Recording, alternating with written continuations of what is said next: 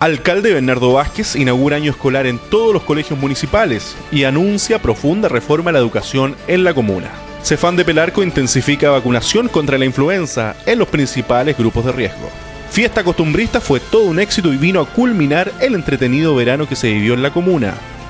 25 emprendedores de Pelarco comenzaron proceso de preparación para ser apoyados con capital semilla del FOSIS. Destacada participación de los equipos de la comuna en la Copa ANFA Regional.